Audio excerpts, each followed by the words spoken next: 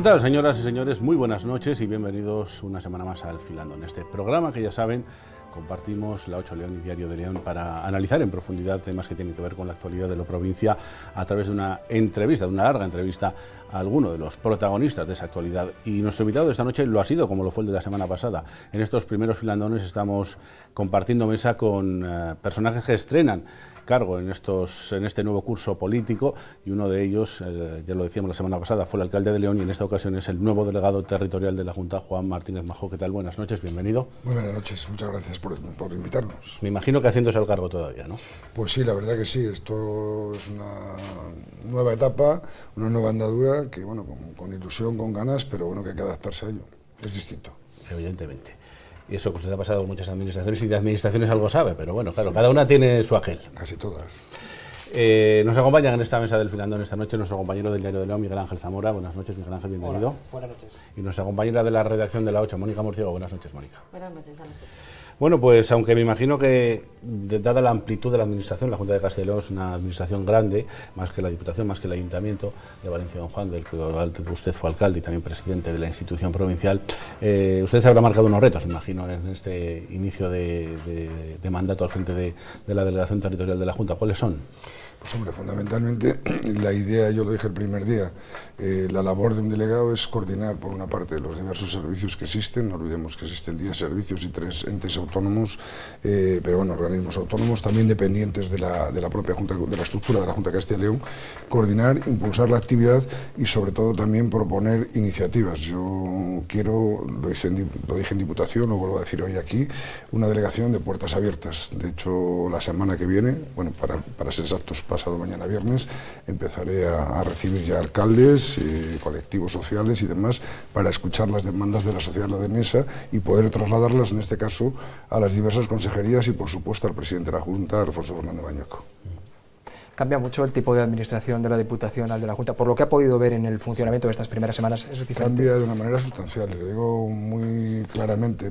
La Diputación tiene sus propias competencias mm, y las que no son propias, vamos a decir así, pero son como siempre las mismas y no muy cambiantes, entre comillas. Cuando digo no muy cambiantes, siempre ha habido un plan de cooperación. Se puede llamar plan provincial, se puede llamar eh, fondo de cooperación, se puede llamar como se, como se quiera, pero es una ayuda a los pueblos y demás. Siempre hay unos planes determinados. La administración autonómica varía muchísimo más, eh, tanto en la estructura, en la propia estructura, como este es el caso en este momento, pero también en cuanto a las propias competencias que permanentemente están, bueno, pues mucho más, eh, son no variables, pero sí modificándose continuamente. Habla usted de competencias. eh, durante su mandato al frente de la Diputación usted fue muy crítico con las competencias impropias que suponen más de 20 millones de euros, entre ellos eh, los centros asistenciales. ¿Sigue pensando lo mismo ahora que es delegado de la Junta? Yo, mis pensamientos nunca han cambiado ni van a cambiar. Yo lo que digo es que cada administración debe tener una cada competencia, una administración tiene que ejercerla. Eh, si te acuerdas, si en esta misma mesa, yo lo dije en su momento, tenemos que intentar eh, llegar a que la Junta de Castilla y León asuma esas competencias que nosotros como Diputación denominábamos y denominamos impropias. Pero por otra parte también todo esto al final es una cuestión mm, de competencia, pero también hay otra cuestión que se llama financiación. Eh, yo sigo manteniendo el mismo, absolutamente el mismo criterio. Creo que las competencias debe ejercerlas una sola administración. Y hay cuatro centros dependientes de la Diputación Provincial que están ahí en la tesitura de quién debe ejercerlas previsiblemente y presumiblemente la Junta de Castilla y León, pero también es verdad que en un momento determinado alguna, alguno de los centros cuando se pudo hacer, eh, yo fui el primero que di marcha atrás por otras connotaciones y circunstancias que pudieran darse. Es verdad que es asunción de la competencia significa entregar los centros. Me parece que esos centros son, para la Diputación son bandera, entonces lo que hay que lograr son fórmulas equilibradas de financiación, es decir, que la Junta colabore y habíamos marcado un calendario, se había hablado de un calendario paulatino de ir colaborando y ayudando a la Diputación, que yo estoy seguro que se va a hacer, Mm, pero fundamentalmente, vuelvo a decirlo, esto va vinculado a un tema de financiación. Nuestra comunidad autónoma tiene una financiación eh, muy compleja dentro de la, la financiación nacional, mm, hasta que he llegado a, me he dedicado días a leerlo, en esa complejidad de la dispersidad, la despoblación, pero sobre todo el complemento de envejecimiento, el complemento de, de- de- de la magnitud, porque hay que decirlo así, de superficie que tiene esta comunidad eh, tendría que tener otras variables en el tema de financiación estatal hacia la comunidad autónoma. Esta y algunas más, tres en concreto. De todas formas, esa va a ser un poco una espada de Damocles que le va a acompañar toda la legislatura. Si hace algo, porque lo hace. Y si no lo hace, por reminiscencias del pasado. Entonces, lo va a tener siempre pendiente. Gracias, Miguel Ángel. Gracias. Te lo agradezco que lo digas porque si haces, porque no, porque, porque haces. Y si no lo haces, porque no lo haces. Y el primer ejemplo te lo voy a poner, porque me vais a preguntar, el IES de Valencia Juan. Si yo hago lo que no debo como delegado, me hubiera sobrepasado o extralimitado mis funciones, pues a lo mejor estaría mal si hago lo que debo, tengo que mirar con objetividad, de forma rigurosa y de forma transparente lo que está ocurriendo en esa situación, en otra, y ahora mismo pues yo sé que va a haber eh, más de una posible colisión eh, entre lo que son diputación, porque es lógico, más que colisión yo diría que bueno, podemos tener eh, ciertos aspectos en los que podemos tener divergencias, pero sin embargo hay algo que nos tiene que mover por encima de todo eso, y yo es algo que tengo muy claro, para mí por encima de todo está León. Eso lo tengo claro. Y agradezco al consejero de presidencia el día que vino eh, a la toma de posesión, que lo dijo. Una de sus frases fue, Juan, tienes que seguir reivindicando León como delegado territorial. También le dijo que tiene que dar la cara. Y ese es un recado. Y eso es un recado. También las cuando haya que darla, hay que darla siempre que tenga justificación. Y bueno, ¿Eso significa que va a tener que tomar decisiones que no van a gustar? Eh, las decisiones posiblemente sean ajenas a mí. No es que yo quiera echar culpas o balones fuera, porque eso también se puede interpretar como balones fuera. Las decisiones en este ámbito, lógicamente, son en su mayor parte de la consejería, de las consejerías de, las diversas consejerías y también del presidente de la Junta. Aquí decisiones se toman pocas, vamos a decir así. Se toma eh, más el impulso, vamos a intentar, o yo voy a intentar impulsar cierta actividad a la delegación, es decir, iniciativas que surjan en León que puedan llegar directamente allí. Pero sí es verdad que las decisiones, en su mayor parte, no lo olvidemos, están en las consejerías. Usted que viene del mundo rural, de gobernar durante 16 años, creo, el Ayuntamiento de Valencia de Don Juan, cuando escucha al socio de gobierno de su partido, a Francisco de Gea, hablar de fusión de municipios o de que hay que replantear los servicios que se prestan en los pueblos pequeños, ¿cómo le encaja a usted? Eh, bueno, ya que me hablas de mundo rural, de venir del mundo rural, pues me vas a permitir, no quiero extenderme, pero bueno, a los 19 años era secretario de una junta vecinal, una junta vecinal de un pueblo que se llama Belida de la Reina. A los 22 era concejal del Ayuntamiento de Cimanes de Tejar, representando a mi pueblo en la oposición, y después he estado 24 años en Valencia Don Juan como alcalde y otras. Eh, conozco la parte de la que me estás hablando perfectamente. Creo que los pueblos eh, no es que sean necesarios, sino que son el alma de nuestra, el alma mater de, lo que es la provincia de León, como de la provincia yo diría también de la comunidad, pero especialmente en León creemos en nuestros pueblos. Yo creo que en este momento se pueden plantear mejoras, siempre que sea para mejorar todo es escuchable y todo es opinable, pero siempre que sea para mejorar. Hablar de fusionar por fusionar, eh, yo recuerdo una fusión, no, creo que fue a principios de los años 80. ¿Os acordáis del Ayuntamiento de Riello? Eran cuatro municipios. Se agruparon, aquello funcionó, parece ser, presuntamente, son 41 municipios, 41 pueblos, perdón, y se han agruparon, pero de forma voluntaria. Eso es una cuestión. Otra cosa es de forma obligatoria prestar servicios de una manera mancomunada, como se está haciendo en, muchos casos, en el sur de León, con la mancomunidad Mansurle, o a través de otras fórmulas, eso no significa perder la identidad, que es lo que no pueden perder nunca nuestros pueblos. Ni perder servicios tampoco, claro. Y servicios tampoco. Ya hemos perdido bastantes, pero también hay que... Yo entiendo, eh, aquí hay dos partes. No debemos... Mm, las matemáticas, los números, las cuentas dicen una cosa, la racionalidad económica, vamos a llamarle así, pero por otra parte tenemos que pensar en las personas. Nuestros pueblos son pueblos eh, con una población muy envejecida, muy envejecida. Debemos respetar la decisión de esas personas. La primera, mi madre, que vive en mi pueblo, ella sola por decisión propia y tiene 79 años dentro de unos días y quiere vivir en su pueblo, quiere seguir estando allí. Pero también puedo decir que hoy por hoy tiene un nivel de servicios bastante aceptable dentro que es un pueblo. ¿Se han perdido? ¿Se han ido perdiendo? Pues sí, se han perdido muchas cosas. Se han perdido las tiendas en los pueblos, qué importante era la pequeña tienda.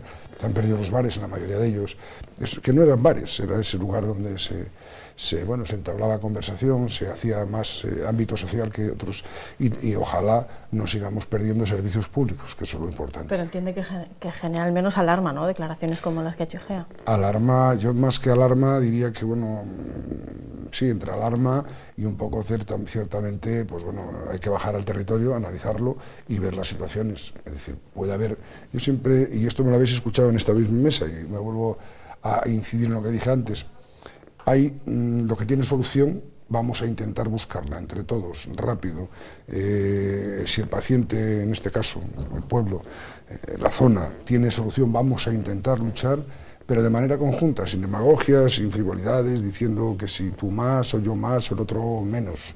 Eh, y si no tiene solución, habrá que ver mm, cómo no dejar morir, porque eso es muy triste pero sí que hay pueblos, tenemos pueblos con dos, tres habitantes. El otro día yo escuchaba a un alcalde decir que tenía pueblos con dos y tres habitantes. Es muy difícil que ese pueblo vuelva arriba. Pero al lado, sin embargo, tenemos pueblos que sí pueden tener vida. Y yo lo he dicho por activa y por pasiva, lo vuelvo a decir una vez más. Tenemos que aprovechar lo que tenemos, nuestros recursos endógenos, y esos son importantísimos. Trate de convencer a la audiencia de que si Francisco Igea no fuese su socio de gobierno en la Junta, no habrían puesto el grito en el cielo con esa iniciativa. Eh, que trate de convencer. Yo creo que lo que, no sé, las, palabras yo no las escuché exactamente. Es verdad que a lo mejor no soy de los que más lo he leído, lo que dijo, que si municipios de 50 o tal. Creo que no se trata de una línea de 50, ni de 40, ni de 30, ni de prestar. Hay que prestar servicios, por supuesto el cómo prestar los servicios es una cuestión distinta. Yo quiero entender que lo ha dicho en ese sentido. Y no quiero pensar ni muchísimo menos, porque bueno, eso fue una visita que se hizo a Riaño y demás, donde había gente de todo el entorno y en la zona de la montaña oriental es una zona que está bastante despoblada y donde bueno, pues también conoce la problemática, él personalmente conoce la problemática de esa zona perfectamente. Está hablando de pequeños municipios, está hablando de servicios. ¿Lo de la sanidad tiene solución? La sanidad mm, yo creo que tiene solución, sí. Primero, yo me agradan las palabras y eso se dijo desde el primer momento. Yo escuché a la consejera, pues estaba al lado de ella. No se va a cerrar ningún consultorio, lo cual mm, a partir de ahí ya seguimos hablando. Y lo digo con toda la sinceridad, cuando digo seguimos hablando es Castilla y León, y esto fue algo que el año pasado, hace dos años, perdón, a mí me tocó, como bien sabéis, como presidente de la Diputación, pues bueno, es verdad que lideré o abanderé aquel movimiento eh, aquella, bueno, pues eh, sí es verdad que había muchos alcaldes preocupados porque no podíamos llegar a prestar o no se prestaba esa asistencia sanitaria que se quería o que queríamos en los pueblos. ¿Vale? Por diversas razones, la, época de verano, cuando más gente tenemos en los pueblos, los médicos, lógicamente, como cualquier otra persona, como cualquier persona, tienen derecho también a sus vacaciones. El 25% vacaciones y bueno, pues después hay que reordenar todo lo que es eso. En Castellón tenemos 3.650 consultorios, eso hay que recordarlo. Nos sigue con 1.115 Castilla-La Mancha, 1.109 Andalucía.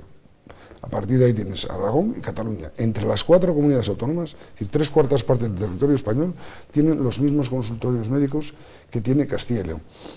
Eso no quiere decir que sobren, pero sí que lo que hay que buscar son fórmulas para mejorar. Yo lo único que pretendo es que se mejore la sanidad. No sé cómo, cuál es la fórmula. Para eso hay técnicos y expertos. Y yo creo que la consejera, mm, bueno, viene del mundo médico, debería o creo que sabe de lo que habla. Eh, que a lo mejor en las declaraciones que se han hecho, o quién las ha hecho, ese proyecto piloto, pues no lo sé. Yo es que mm, digo, ¿será bueno? Eh, espero que no sea malo. Y si funciona, es lo que se ha dicho, si funciona, será extrapolable a otras partes. De momento se ha quedado en un proyecto piloto para ver cómo funciona partiendo de la base, repito, de que no se cierra ningún consultorio. Después ya lo del sistema de atención, pues es verdad que hay lugares donde ya se llama mm, a la centralita y la centralita te da día y hora y todas esas cosas. Bueno, eso es un sistema mucho más complejo que habrá que ir analizando y estudiando. Yo creo que la asistencia eh, sanitaria, como está concebida en la provincia de León, es que el médico viene a nosotros. Eso es como lo vemos. Y también otra de las cosas que se habla es de a la demanda, cuando se habla de la demanda era mm, ante cualquier situación que se pueda llamar y que el médico vaya a casa del paciente. A mí me parece pues bueno, que son cosas que hay que analizarlas, verlas, a lo mejor ponerlas en práctica y si no funciona, como se ha dicho hoy por, a través de, la consejera y de otros medios, bueno, levantar el pie y decir marcha atrás. Lo que tenemos funciona regular, hay que decirlo con toda la sinceridad. Yo no voy a decir que funcione bien, porque se mentiría. Funciona regular. El médico pues no va todos los días. En mi pueblo el médico va dos días pero el día que hace guardia, por, ley, porque hubo una sentencia que lo dijo, no puede al día siguiente trabajar. Entonces ya falta el lunes o el jueves, uno de los dos, hay veces que no está. Después ya sumas el verano y demás. Hay que intentar mejorar. Yo es lo único que pido. Y lo que seguiré pidiendo y lo que trasladé desde León donde tenga que hacerlo. Cierre no, reorganización quizás sí. Cierre no, reorganización quizás sí. Cierre no, mm, yo más que reorganización diría mm, ese doble ámbito del que se está hablando, mm, yo la verdad he intentado leer todo lo que he podido y he llegado donde he llegado. ¿vale? El, médico rural sigue existiendo y haya, además del centro, pongo un ejemplo, en Valencia Juan hay un, eh, un centro de salud, además de los consultorios que existen en los diversos pueblos, y habría otros intermedios, quiero entender, no lo sé, si en Cabreros, en Torrador Guzmanes o en Fresno de la Vega, que atenderían permanentemente durante esos cinco días de los que se habla. Parece ser que entiendo que es de lunes a viernes, que, hubiera asistencia más cercana. No sé si eso, pues, pues bueno, posiblemente es analizarlo, ponerlo en práctica en alguna parte, parece que lo van a poner, y ver si funciona. A lo mejor no sería malo. Bueno, hasta su toma de posesión como delegado de la Junta quizás ha sido unos meses un tanto extraños tras el varapalo electoral en Valencia de Don Juan y también en la Diputación. ¿Realmente usted estuvo cerca de dejar la política? Eh, ¿Realmente estuve cerca de dejar la política? No. Dejar la política activa sí, pero yo siempre dije que yo, por ejemplo, la presidencia del partido no la iba a dejar porque no, no la pretendía ni mucho menos dejar. Sí es verdad que tuve momentos, no de desánimo, porque a mí eh, a mí la política, todavía hoy, tengo 56 años que he cumplido hace mucho, y cuando se habla todos los años sigue siendo más vocacional que una profesión. Yo lo considero, al final se convierte en una profesión, por supuesto, y para eso nos, mm, nos pagan, como dice el otro, y nos exigen, nos tienen que exigir los ciudadanos, que para eso están. Pero tiene que tener una parte importante de vocación. Si esa parte falla, pues mm, mal vamos. Eh, en ningún momento pensé en abandonar la política desde ese punto de vista, desde el punto de vista orgánico, de seguir estando en, el partido y trabajando. Otra cosa es la, política a nivel de, instituciones, pues bueno, sí que tuve mis pensamientos. ¿Qué le convenció? Supongo que la opción ¿no? de poder ocupar la delegación. Pues Alfonso Fernández Mañoco, para ser exactos, es la persona que es responsable de que yo sea el delegado de la Junta, y lo digo muy alto y muy claro, y bueno, pues, pues espero estar a la altura, que es lo que pretendo. ¿Ha analizado por qué se perdió la alcaldía de Valencia de Don Juan? Sí, pero creo que es un análisis el que tal vez públicamente no lo puedo hacer. Simplemente te puedo decir que por qué dos candidaturas no se presentaron cuando estaban casi hechas. Una estaba hecha, por cierto. Bueno, mejor es... Mm, eh, yo sabía, era consciente del riesgo que corría perfectamente, por eso dije, yo es mi última etapa. Había tres proyectos muy claros que quería conseguir, polígono industrial, mejora de las instalaciones deportivas y un centro de día, lo vuelvo a repetir, de 100, 120 personas de capacidad que lo necesita Valencia Juan. Además de 11 proyectos que eso sí me preocupan, que están en marcha, están, quedaron en marcha.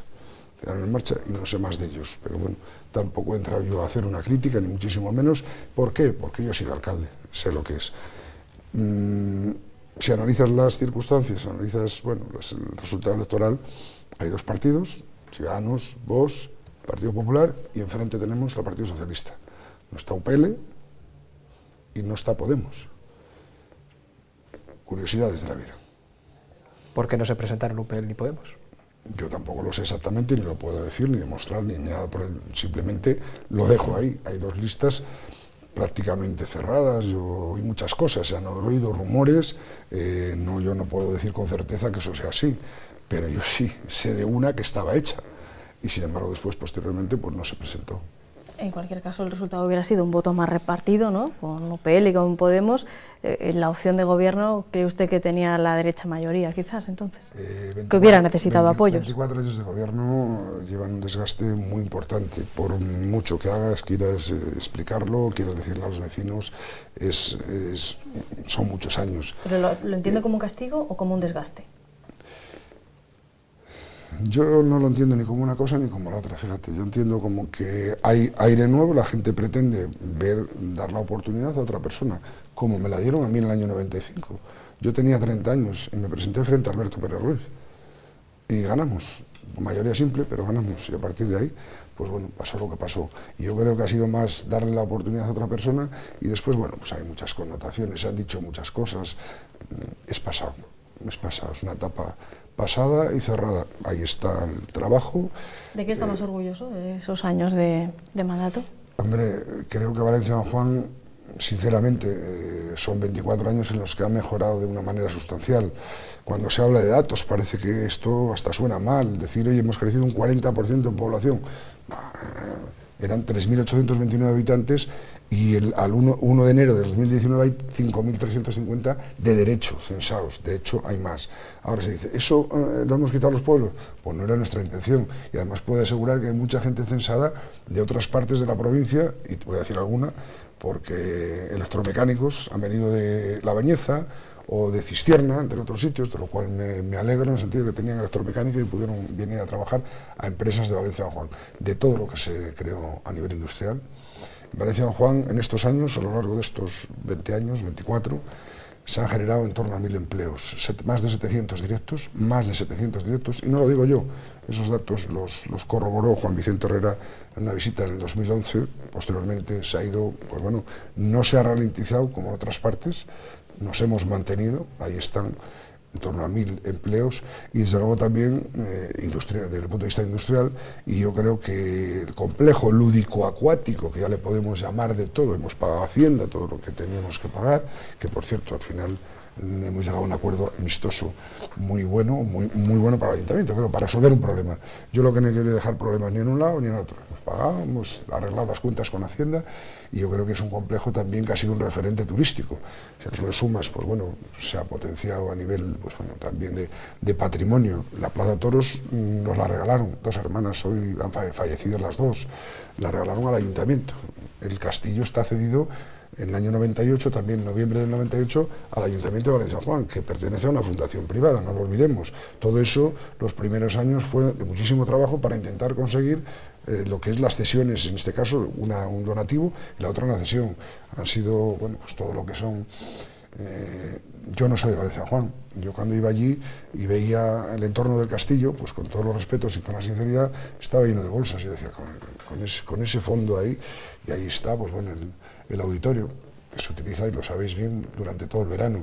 Y la parte del río era, el río aislaba, mmm, Valencia Juan estaba aislada del río eh, totalmente, era un, algo que cortaba y sin embargo hoy con la pasarela y con todo lo que son la zona del complejo la isla, Valencia está integrada en el río o el río integrado en Valencia Juan y puedes ir al otro lado en 200 metros, 200 metros, 300.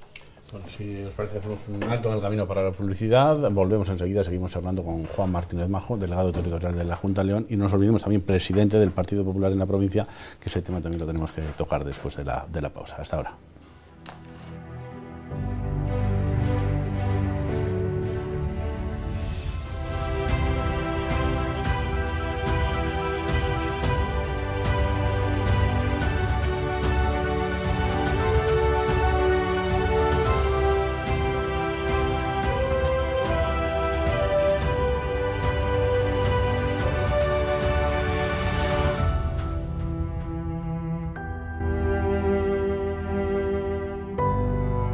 Estamos de vuelta, seguimos hablando con Juan Martínez Majo, delegado territorial de la Junta en la provincia y también presidente del Partido Popular de León. Lo dejábamos hablando de Valencia, don Juan, de las últimas elecciones, de lo ocurrido después, y ya que estamos en esos periodos de tiempo vamos a seguir, pero fijándonos en otra institución, en la Diputación Provincial, también pierde la presencia de la Diputación.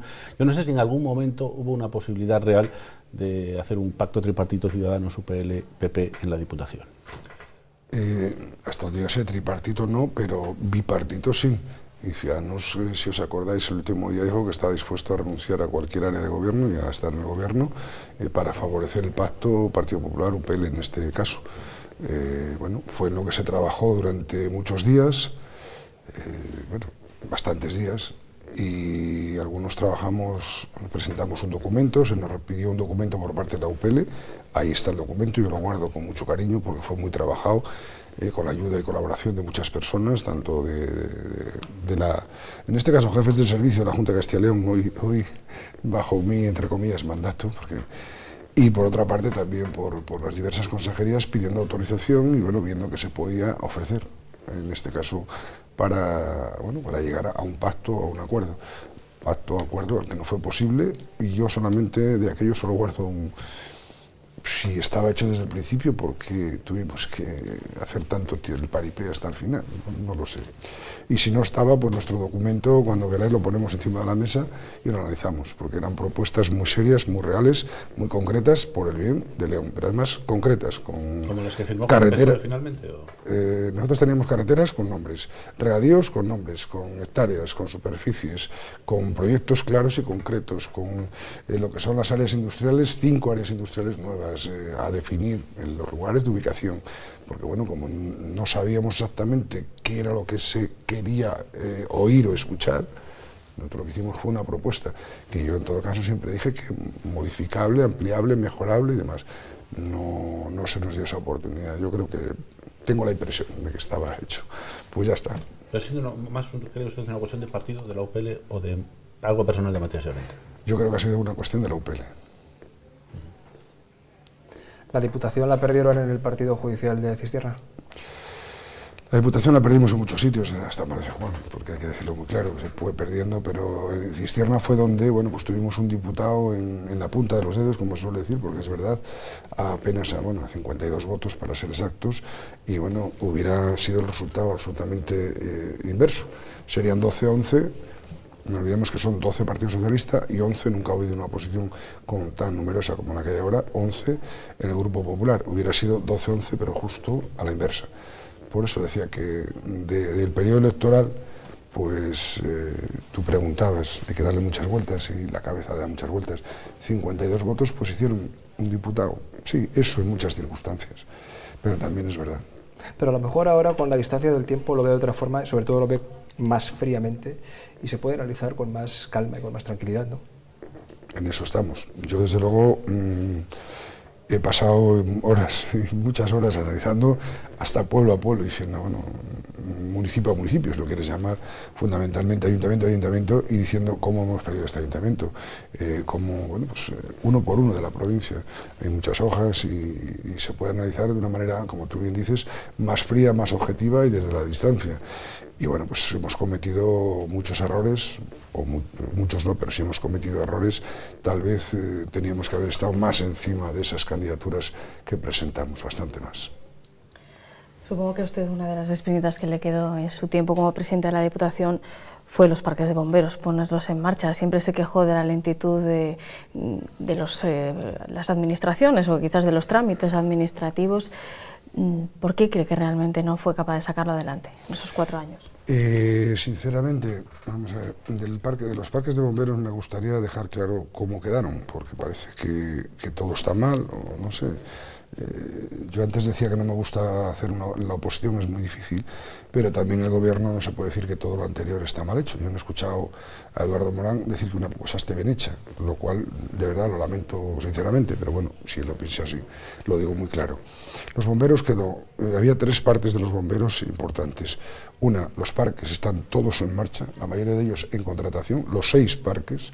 Primero hubo que definir el plan Mm, con todo lo que se había hecho, el tiempo, la cantidad de años, no olvidemos que es un tema que se arrastraba de 20 años antes de los cuatro que han pasado, y seguía el tema ahí.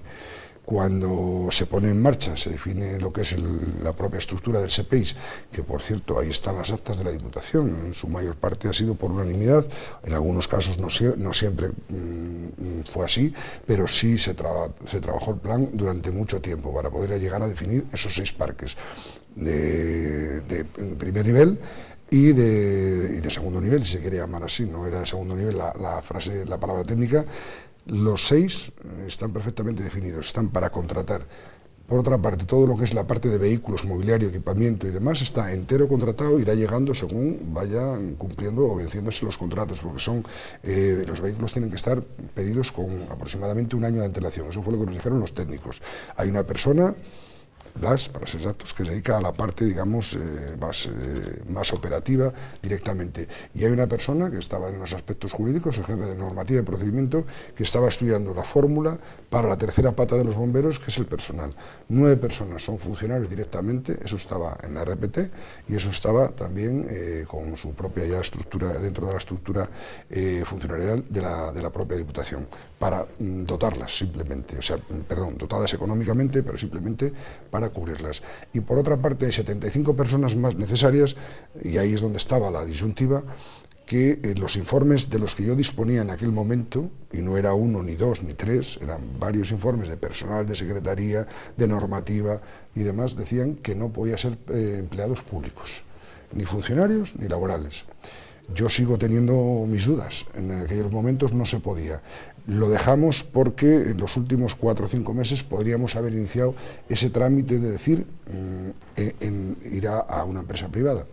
Sin embargo, mm, existiendo el gobierno central que existe en estos momentos, que todavía sigue existiendo, en funciones y demás, dentro de, esas, eh, de esa legislación, yo creo que, bueno, muy variable y muy voluble que se está produciendo últimamente, yo dije, tal vez se permita que puedan ser contratados como empleados públicos.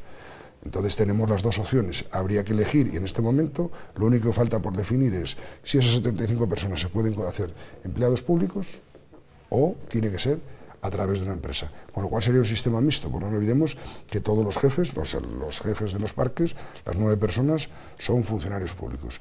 Parques adjudicados, unos, o en vías de adjudicación, nosotros. Con todo eso que nos está diciendo, no debería faltar mucho entonces para que, fuera una realidad, eh, ha quedado más o menos atado. Dándose muy mal entre seis meses y doce, vamos a decirlo así. ¿Es el plazo que le da usted al nuevo equipo de gobierno para que lo pongan en marcha? Para que esté en marcha no necesitan más. Y si no, vamos a ver, eh, el funcionario responsable no sé si habrá otro, que lo diga y que venga públicamente a decirlo. Es decir, hay que sacar o un pliego o contratar gente, digo 6, 12 meses aproximadamente. Eso no es obstáculo en, la negociación con la Junta, el consorcio. el consorcio con la Junta, si, si, se llega a conseguir, perfecto. Pero desde luego yo lo dije muy claro y muy alto, y lo vuelvo a decir, Consorcio con los ayuntamientos, no, me parece una tontería, porque si vamos a crear un ente más con los propios ayuntamientos de la provincia, es mejor que cuando llegue el plan de cooperación, en vez de darle 100.000 euros, le demos 95.000 y no tengan que aportarnos después, crearemos un ente más. Eso me parece que es lo más lógico y razonable.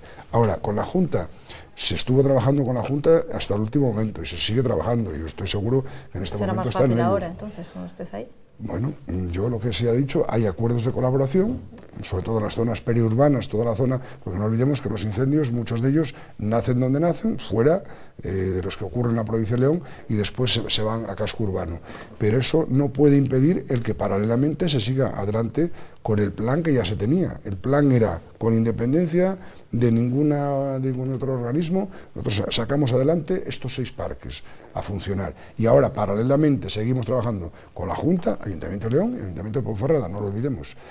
Y la fórmula de financiación, porque parece que ahora, bueno, en el año 2, marzo del 2018 se amortizó, llegamos a deuda cero en Diputación, eh, lo cual liberaba unos recursos de 2 millones, entre 2.800 y 2.900.000 euros, entre intereses más capital, que se liberaban justo para eh, los bomberos, que se valoraban en unos 3 millones, 3 millones 200, 3 y medio aproximadamente, lo que podía ser el coste del mantenimiento de esos parques con el personal durante al año.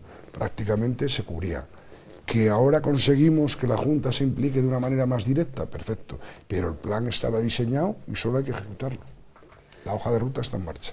Tan manido como el tema de los parques de bomberos, del parque de bomberos, es el tema de torneros. El consejero de fomento dice que sin financiación privada, que no lo ve, que quizá hay que apostar más por viedangos. ¿Usted en qué línea está? Eh, es difícil definirse, vamos, definirse. Yo torneros conozco lo que conozco. Mm, torneros el impacto ambiental quiero recordar, y prefiero pensar que me confunda, que ahora antes de fin de año vence un impacto ambiental, con lo cual va a haber un problema añadido a lo que pueda haber ya. Torneros es un proyecto estatal, autonómico y también de implicación, digamos, de todas las administraciones, incluida el propio ayuntamiento, los ayuntamientos implicados. ¿Cómo no? Torneros tiene la oportunidad y tiene, bueno, pues la viabilidad de estar donde está mm, con unos accesos mejores que Villadangos, pero es verdad que Villadangos es mucho más fácil de ampliar en este momento.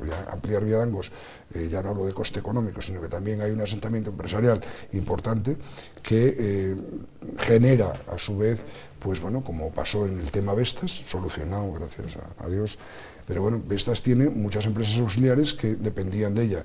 Mm, es más, más fácil hoy asentarse en Villadangos que iniciar a lo mejor torneros, mm, que habrá que iniciarlo. Pero también mm, lo dejo el consejero y desde luego yo es una cosa que he oído no incluso al ministro. Tiene que haber implicación de empresas privadas, de empresariado privado.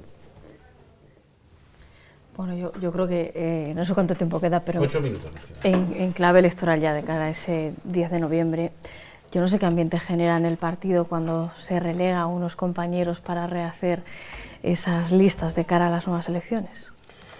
Pues hombre, yo llevo en el Partido Popular desde 1981 y esto es algo, bajo mi punto de vista, normal. No se relega a nadie, porque todos en este caso están, eh, que alguien va de uno, alguien va de dos, o alguien... Esas Con menos posibilidades de salir elegido o, o más, eh, claro. Esas típicas cuestiones siempre han existido. Repito, desde el año 81 hasta ahora han pasado muchísimas elecciones y bueno, dices, ahora alguien va de dos y antes iba de uno, si esa es la pregunta y porque antes fue de uno eh, y no iba al otro. O sea, ¿el ambiente cómo está entonces? Eh, vamos a ver, esto siempre produce lo que produce internamente, pues bueno, hay gente que tiene más simpatía con unas personas internamente dentro del partido que pueda tener con otras, pero desde luego es algo que dentro del Partido Popular, y creo que en todos los partidos pasa, es algo normal, que no todo el mundo esté contento, pero yo creo que superada esa fase, que eso son, pues ayer se presentaron las el, perdón, el lunes se presentaron las candidaturas, a partir de ahí a trabajar todos juntos, yo estoy seguro que en eso sí que vamos a estar de acuerdo, a intentar buscar los mejores resultados. La sintonía con el secretario provincial también es buena. La sintonía es muy buena, tanto con el secretario provincial con, también con el comité de dirección, no olvidemos que hay un equipo de vicesecretarios, de ocho vicesecretarios, con los cuales trabajamos pues más eh, muy codo a codo, y con José Miguel, desde luego, es una persona con una visión política muy buena y con tiempo, con ganas y con ilusión. ¿Quién rehace las listas? ¿Las listas se rehacen en, Madrid o tiene su peso también la provincia? También tiene la provincia, yo creo que a nosotros se nos ha escuchado. También es verdad que mm, dentro de las personas que hay, como, no lo sé, si aquí mismo, pues ¿quién te gusta más? ¿Papá o mamá? Es muy difícil. Mm, hay una serie de personas que pueden estar y que muchas veces mm, ni las decisiones son personales, por supuesto que no, en absoluto, pero sí son colegiadas, en este caso con, con, la, regional y con la nacional. Pero de los cuatro principales partidos, los únicos que han cambiado cabezas de lista son ustedes. ¿Por qué ese cambio? Bueno, hemos cambiado en muchos sitios, pero bueno, vamos a corregir, vamos a corregir, vamos a intentar mejorar. No sé si tampoco es porque las personas que estuvieran no fueran buenas, ni muchísimo menos, ¿eh? pero simplemente eh, los cambios, ¿por qué no hacerlos? No pasa nada, en absoluto. Pero es una cuestión de caras o de mensaje hacia, hacia el votante o de caras. Da la sensación de que es una, una cuestión de, de caras, ¿no? De las personas que se ponen al frente, no de que haya que cambiar quizás el mensaje. No, yo creo que ni de caras ni de mensajes, es una combinación de ambas cosas. No, el mensaje del Partido Popular creo que es un mensaje centrado cada vez más y bueno, pues, mm, basándose en la experiencia de lo que ha ocurrido, pues bueno, se ha decidido que sean otras personas. Pero, en, repito, en ningún caso, porque no olvidemos que no se menoscaba o no se quita a los que ya están. Ojalá, ojalá obtengamos un buen resultado y estén los que ya están y alguno más, que yo espero y deseo que así sea. Si los resultados no son buenos, ¿se replantearía de nuevo la continuidad al frente del PP provincial? Los resultados no buenos, no lo sé. Vamos, ahora mismo creo que eh, atribuirme a mí también la responsabilidad, yo espero que sean buenos. Desde luego, mm, mi cargo está a disposición siempre. Mm, siempre lo he puesto. Lo puse el primer día, el 17 de junio del 2017, ante los afiliados de León y siempre va a estar a su disposición de ella, de, los afiliados, por supuesto, y también de, de la dirección, en este caso autonómica o nacional. Yo creo que vamos a obtener unos resultados mejores, mm, sensiblemente mejores, yo espero que sean todavía mejor de lo que yo pienso que los anteriores. Pero no olvidemos que tenemos unas connotaciones, y vuelvo a decirlo de antes, Eh, dentro del espectro de centro-derecha hay dos partidos, uno más extremista, pero que también ha restado votos. No sé a quién, desde luego creo que al PSOE no. Vamos, yo lo dije en un análisis, un breve análisis, en, en, en una junta directiva hace muy poco. 152.000 votos si sumamos esos tres, frente a 110, 115.000 si unimos Podemos y Partido Socialista. Eso es lo que hay. Ahora, la división es mucho mayor en el centro derecha. Y repito que el extremo lo dejamos aparte. Lo de hacer quinielas no va con la clase política, pero que es un resultado bueno el 10 de noviembre en la provincia. ¿Qué espera? ¿Qué, es, qué, es, qué sería un resultado bueno? En Superar al Partido Socialista. Y yo espero, mmm, puede ser, y desde luego lo vamos a trabajar y vamos a intentarlo. ¿Dónde está la clave? Si cree que está tan convencido es porque tiene la clave está para la clave? eso. ¿Cómo Yo va a creo ser que, la campaña? No sé eh, si hay una cosa, la campaña yo creo que eso hay que decir. Llevamos seis meses eh, en, en, desgobierno, en una situación de inestabilidad, que bueno, yo creo que Pedro Sánchez está muy bien instalado en esta situación, porque se le ve muy cómodo en todos los debates, en todas partes, desde luego él está de maravilla, está encantado en esta situación de ni sí ni no. El rey le encargó que intentara hacer gobierno, no lo olvidemos. No ha sido capaz. Ahora, mm, los culpables son todos los demás, pues perfecto. Pero a quien se le encargó fue él porque tenía la mayoría pero hemos estado otro año, más de otro año anterior también en el desgobierno. Esta situación para él es muy cómoda, pero esta situación yo estoy seguro que la vamos a pagar eh, a medio plazo iba a decir, posiblemente a corto, por desgracia, la vamos a pagar todos los españoles. Empiezan los índices económicos a ver cómo se retrae la economía y el paro pues está creciendo yo creo que los leoneses y los españoles se van, a, se van a dar cuenta, se tienen que dar cuenta de que esta es la única realidad. La única realidad es que cuando gobierna el Partido Popular, España crece, España mejora, con todas las connotaciones que se puedan poner de todo lo que se quiera hablar. Y cuando gobierna el Partido Socialista, desde luego, mejor no vamos. ¿El asunto catalán va a entrar en juego también en estas elecciones? ¿No va a influir? ¿Cómo lo ve? Yo creo que menos, que bastante menos. Parece que todos estamos de acuerdo ahora ¿no? con, los, con el asunto catalán. Si hace falta aplicar, lo dijo hasta el presidente de gobierno, si hace falta aplicar el 155, en este momento y en esta situación parece que se puede aplicar. Pero bueno, tampoco se podía pagar las comunidades autónomas y ahora ya se puede. Entonces se puede aplicar el 155, igual mañana no se puede. Eh, yo creo que el asunto catalán en este caso va a influir bastante menos. Eh, o se va a hablar menos de él en las elecciones. Otra cosa es lo que influya después, porque todos esos partidos nacionalistas, mm, si cogemos la calculadora, suman muchos eh, diputados que al final van a decidir muchas cosas. Una última pregunta. ¿Veremos al líder, Pablo Casado, en, en León durante la campaña? Sí. Sí, previsiblemente o en campaña o en pre-campaña. Durante la campaña va a ser muy corta y yo creo que es suficiente, también es verdad. Y será, serán vale. campañas distintas. Yo espero que todos eh, optemos por una campaña muy distinta porque la gente está cansada de elecciones, vamos a decirlo así muy claramente. Pablo Casado vendrá a León. Pues se eh, nos ha acabado el tiempo. Juan Martínez Majo, eh, delegado territorial de la Junta de la Provincia de León, también presidente del Partido Popular en León. Gracias por estar con nosotros. Gracias suerte. A gracias a vosotros. Gracias Mónica, gracias Miguel Ángel por acompañarnos sí, y gracias como no a todos ustedes por sernos fieles, por estar ahí. Volvemos la próxima semana con un nuevo invitado aquí en el Filandón. Sean felices. Adiós.